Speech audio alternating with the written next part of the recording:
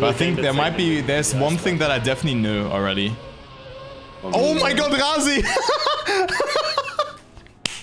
oh my god!